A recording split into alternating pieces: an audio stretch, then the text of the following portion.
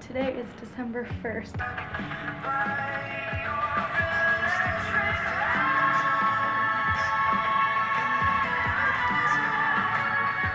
Not gonna lie, I don't know many of his songs, but tickets were $15, so it was like kinda gotta go. So Jen has class until 5.15, which is 4.45 right now, so I have a half hour to get ready.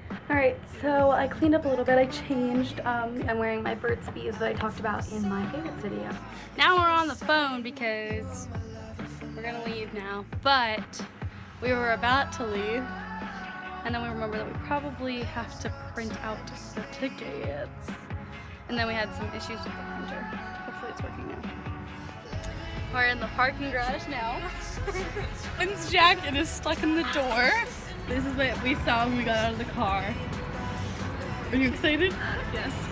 I'm shivering, but I'm so happy.